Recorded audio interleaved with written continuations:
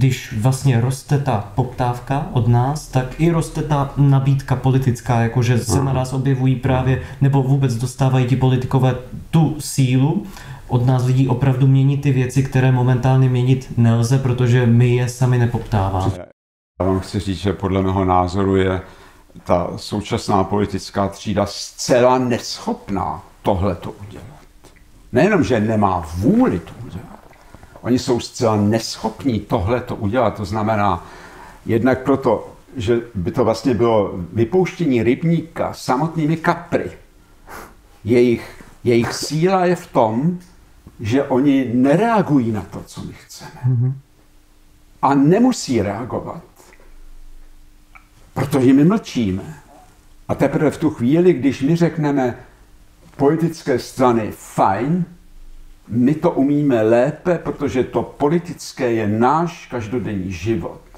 My to umíme lépe tím, že si budeme organizovat svoje vlastní vzdělávací instituce, zdravotní instituce, výměné burzy, podnikatelské eh, instituce, které jsou ne proti tomu, co tady je, ale vedle toho jako doplnění, jako to, čímž, čímž nahrazujeme to, co nám ten systém té takzvané reprezentace nedává, ani nechce dát.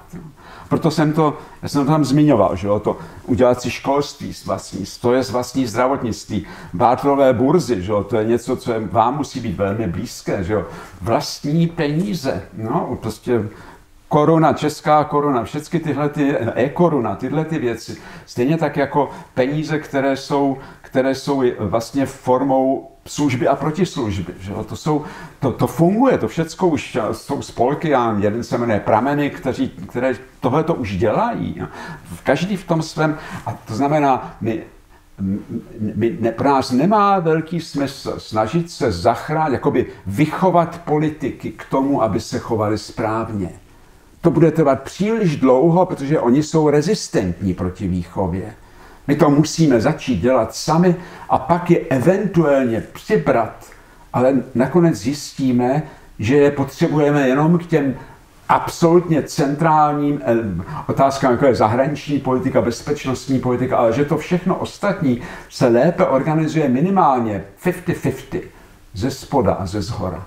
Ale mm. určitě ne, tak jak to je teď, 95% ze zhora a 5% tam si někdo může psát nějaké petice nebo co. To znamená, eh, ovlivňovat politické strany, ty, které existují, je ztracený čas. My musíme začít dělat tu politiku sami. My nepotřebujeme vymyslet nové elity, my, my musíme být sami ty elity, ty činné, ty, které právě ne, nejenom mluví, eh, pronášejí projevy, popisují politické programy a volební programy a všechny tyhle ty hlouposti, ty kteří prostě si sednou, dneska večer si budeme povídat o tomhletom, zítra zkusíme první kroky, podíváme se, jak to dělají jinde, eh, funguje, nefunguje, nefunguje, tak to trošku změníme. Něco, co se opravdu den pod ní děje, ale ne eh, něco takového jako politická strana jménem ODS má politický program, volební program XY a pak z něj nic nesplní. No a příští rok a příštích volbách řekne, to byly vnější okolnosti, ale teď to uděláme líp, máme jiný politický program. Hmm. Jako ta reprezentativní demokracie pro mě na eh, degenerací elit.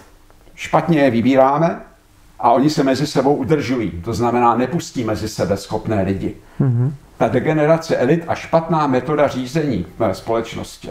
Jsem o tom napsal docela dlouhý text, takový uh, jako vlastně program pro, jak by se měla dělat politika pro realisty, když jsme to tenkrát uh, Míše, to, to, přišlo to příliš brzy, to je celkem jedno, ten program tady pořád je a ten jinými slovy říká, současná politika se snaží řídit co nejvíc věcí. A ve skutečnosti selhává a e, projevuje se jenom tím, že produkuje tisíce e, zákonů a novel zákonů, protože ty zákony jsou si navzájem protiřečí. Mm-hmm. A proto to, na tohle to je třeba rezignovat, je třeba se soustředit na politiku, která se týká důležitých věcí a zbytek přenechat nebo vytvářet spolu s občany. A to je to, to, je to od spoda. No. Hmm. Takže, to je ta veřejná samozpráva, přesně, kde lidé přesně, opravdu vyslovují přesně, požadavek a ta moc a je vlastně sami to dělají, že? to je to hlavně. Jako ne žádat od těch, kteří vlastně hmm. nemají vůli to dělat. Přesně. Líbrž dělat to sami a eventuálně tu i onde se spojit. Že vlastně politik ten by neměl disponovat mocí, ale tou zodpovědností. Právě, to, kterou že, nemá, že jo. No? Kterou on, teď no, nemá, no, protože on no. má tu moc. Protože... Nemůžeme, nemůžeme politika potrestat za jeho politiku. Jo? To znám, on si vždycky může vymluvit, já jsem imunní, jo, já, a to, to je chyba. A my jsme hned nebyli ve většině, no, ta koalice to nedovolila, tak promiňte, nedá se nic dělat, tak to je,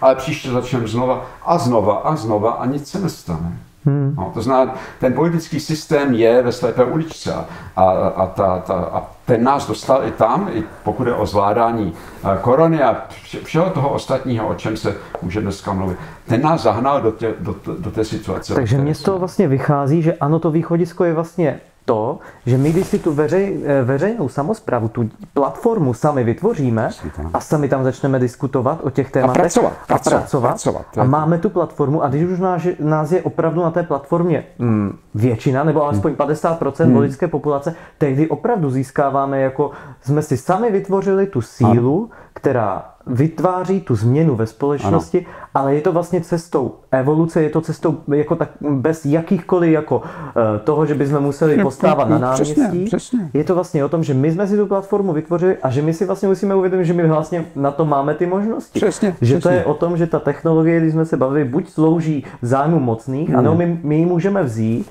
a využít ji pro náš prospěch ano. k tomu, aby jsme se opravdu hmm. propojili. Ale tady je možná ještě jedno úskalí, možná to můžete trošku vysvětlit. Když vlastně mm, se bavíme, nebo když já se bavím s lidmi o sjednocení, hmm. tak lidé si to špatně vykládají jako právě nějakou jako tu, takovou robotizaci, že hmm. prostě jako se jako sjednocuji a tím ztrácím svoji individualitu, protože se někde hmm.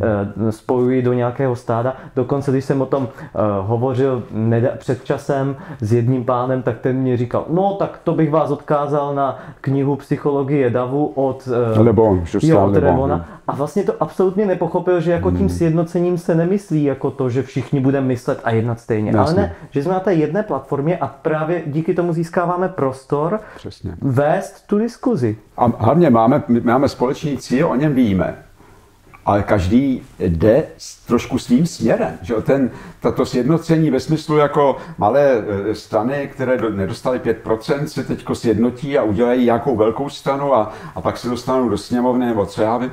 To, to nikam nevede, to je jenom vlastně oživování toho už mrtvého reprezentativního systému, kdy musíme ty věci tím, že je děláme, tak prostě už máme většinu, že vy prostě v valašských kloboucích máte svoji bublinu v pozitivním slova smyslu lidí, které znáte, kteří vám důvěřují, vy jim důvěřujete a s nimi můžete dělat konkrétní projekty.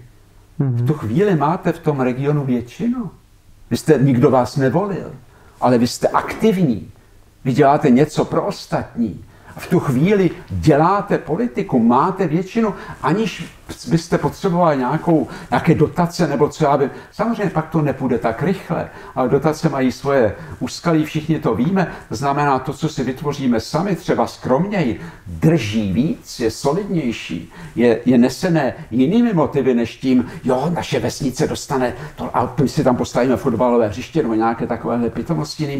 My, my, my změníme život našich dětí, zlepšíme na, na zdravotní situaci v okolí, my umožníme umožníme to, co doposud možné nebylo, protože prostě z, z kraje řekli, to se nám nevyplatí, ale my to tady dokážeme nějakým způsobem sublimovat, substituovat. To, je, to je ono, to jsou to ty věci. Ono. Že vlastně my tu společnost eh, jako měníme a spou, eh, třeba spousta lidí jako vznikají dotá, eh, otázky, seznámí se někde s projektem Tvořivá společnost a často řeší to, no jo, ale jako kdo to financuje. No, a zatím určitě zase stojí nějaká instituce. No, a oni vlastně nechápou, že to jsme my sami lidé, že ano. ty kamery, co nás snímají, to nám eh, ne, neposkytla žádná instituce. No. To prostě lidé sami, jo, přesně právě tak, přesně, přesně realizují přesně tu změnu tak. tím, že se sami jako podílí a ano, ano.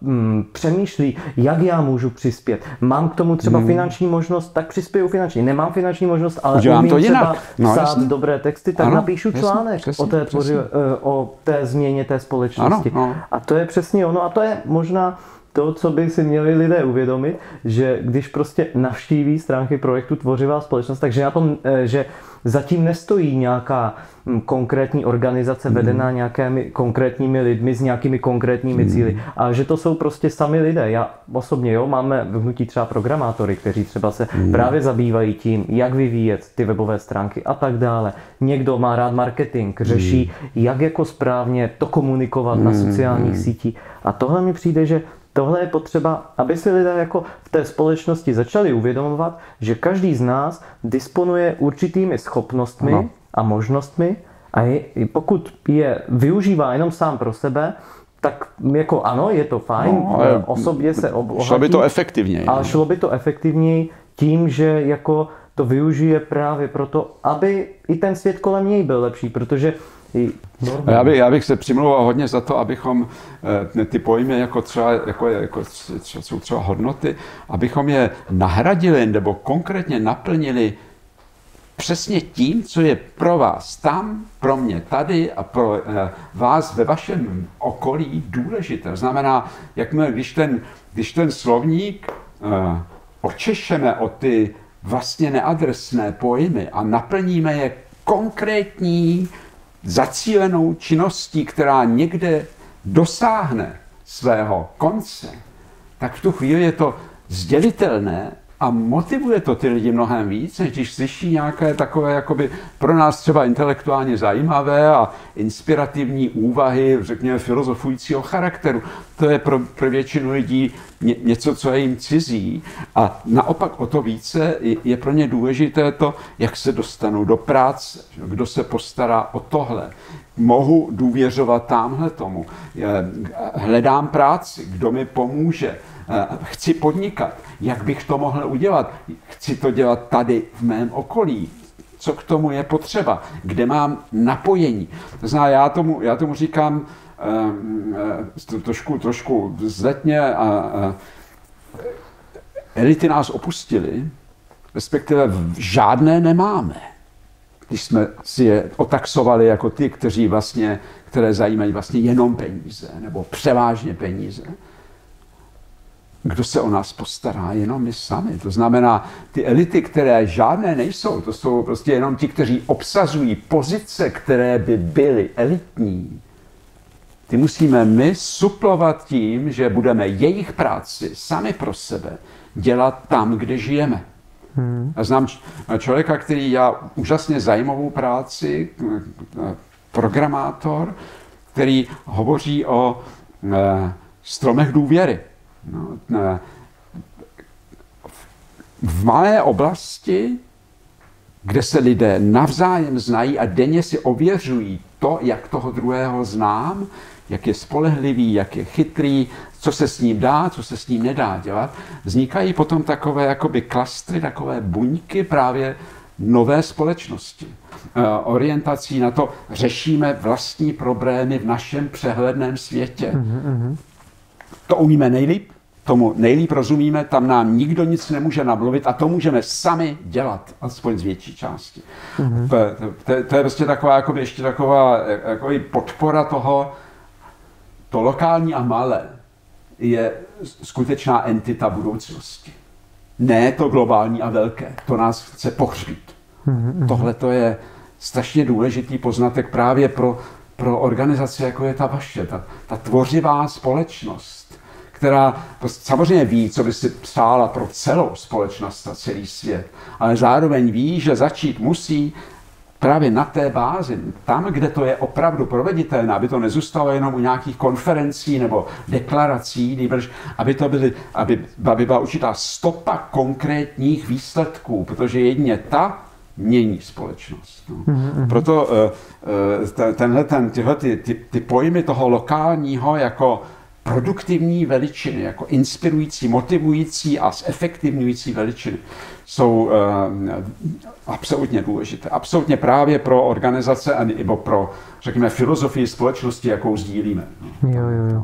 Tam by mě jenom ještě zajímalo, jak to vnímáte a vlastně i nám by to mohlo velmi pomoct, prostě pochopení toho, jak, eh, když si představíme, že teď už teda vzniká ten samozprávný hmm. společenský model, hmm. už tím, že vlastně o tom diskutujeme a tím, že tak a, se to lidé, už děje, už se to jo, děje. Už, se to, už se tím žije, jak teda to má dál vznikat a jak vlastně to má eh, opravdu, jaké jsou ty dílčí kroky, kdy se dostaneme do fáze, že opravdu žijeme v zemi, kde je samozprávný společenský model. Hmm. Že my třeba na to máme jako mm, názor takový, že je to o té etapovosti s tím, že první etapa je vlastně informování. Tedy hmm. to, že lidé, protože dnes ještě mnozí lidé jako mm, neuvědomují si, kde hmm. přesně žijí, neuvědomují si, s jakými rizikami se potkávají, hmm právě třeba e, s ohledem na zavádění moderních technologií, s ohledem na změnu klimatu.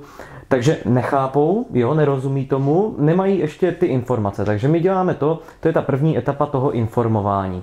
A pak ta druhá etapa je etapa už v podstatě politická, je o tom, že když během té etapy informování už jsme se dostali do fáze, kdy vznikla veřejná platforma, hmm. na které jsou lidé jako nějakým způsobem registrováni, hmm. jsou jejich součástí a vyjadřují tam své postoje, tak když už je jich opravdu více než 50%, hmm těžko říct, jak dlouho to může trvat, jak uh, horizontálně kolik let. A když už jich je víc než 50%, tehdy se z nich opravdu stává síla, eh, kdy mají tu veřejnou platformu a už vlastně přechází ta polita, eh, politika, teda ta etapa politická, kdy se ti lidé v té veřejné platformě vyberou konkrétní lidi, kteří jdou do té politiky hmm. s tím daným cílem hmm. a s tou oporou těch lidí změnit tu společnost. A změnit ji právě tím, že tam pak jako první cíl, co jsme si definovali, je ten, že e, v ústavě zemi bude 8 osnov tvořivé společnosti, protože z těch to hmm. musí vycházet. To je těch 8 osnov, to je ten život člověka, jeho bezpečnost a důstojnost.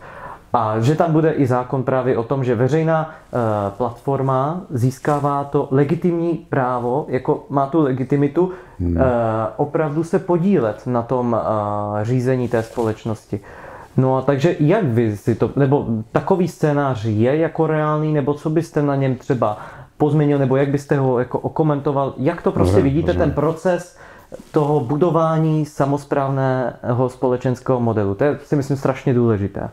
Eh, bez sporu. Já jsem, já jsem celý život, eh, celý život pracuji na, na, na takovém jako průsečíku teorie a praxe. No, a měl jsem to štěstí, že eh, vlastně moje pracovní nasazení, institut, ve kterém jsem eh, byl činný, eh, zprostředkovával teoretické poznatky pro konkrétní hospodářské subjekty, pro firmy. To znamená, tam těm nemůžeme eh, jen tak něco namluvit. Oni nakonec mají prostě svůj, svůj roční výsledek, svoji bilanci a buď to konkurs nebo úspěch. No a tam, tam se člověk neobejde s tím, že řekne, no jako když takhle pojedeme dál, tak za, za 20 let máme ideální svět, ten, ty podnikatele řeknou, to, promiňte, ale pak už nejsme. No, jako firma, tak a to není asi to, to, co chceme.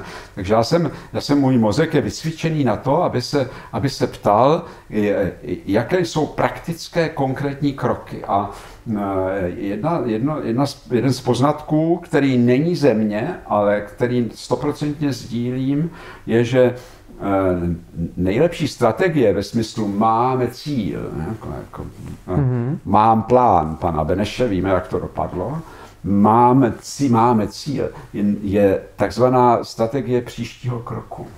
To znamená, já, já se dívám tam, kde jsem a tam, kde chci být zítra. A samozřejmě vím, kde chci být za deset let. Ale já nevím, co se pozítří může stát, aby to moji strategii, kde chci být za deset let, úplně rozmetalo, nebo postavilo na nový základ, nebo vynutilo její zásadní změnu. Pojem strategie dneska v tom, v tom chaotickém, hektickém, cukajícím se světě je vlastně opravdu taktika. To znamená, já musím reagovat uvědomí toho, co dlouhodobě chci, musím ale reagovat na dnešní výzvu, aby jsem ještě zítra existoval jako entita, jako organizace, která má ten dlouhodobý cíl. Když budu koukat jenom na ten dlouhodobý cíl a zdokonalovat si představy o tom, jak bude vypadat a jak se k němu dlouhodobě dostat, tak se mi může snadno stát, že ztratím bázi pro to, abych k tomu cíli se vůbec pohyboval. Lidi, kteří jsou okolo mě, ztratí ztratí trpělivost, třeba to je mě moc dlouhý, nebo tomu nerozumím, nebo to je nekonkrétní, to, kam mm-hmm. bychom se dostali. Ústava fajn, dobře, ale já mám tady prostě problém s tím, že ne, nevím, jak, jestli prostě pro děti bude školka, nebo prostě zcela konkrétní věci. To znamená, to, co jsem se naučil čím jsem si jako disciplinoval svůj mozek a to, co bych vám jako opravdu vřele doporučil, je nikdy nezapomenout to, kam chceme dojít, ale vždycky myslet hlavně na zítřek. Dneska a zítra, aby jsem ještě pozítří mohl existovat a mohl myslet na ten velký cíl. A určitě věnovat, když si mám, mám vybrat, do čeho investuji moji energii, protože je vždycky omezená, ať už to je jedinec nebo organizace, tak bych vždycky tu energii investoval preferenčně k tomu, co je dnes a co bude zítra.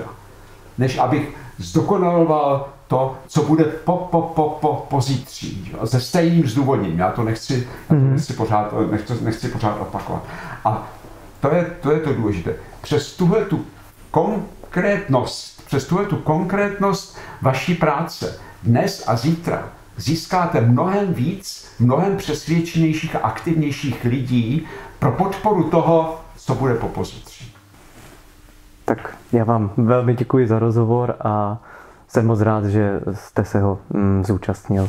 Já děkuji za pozvání a za chytré otázky.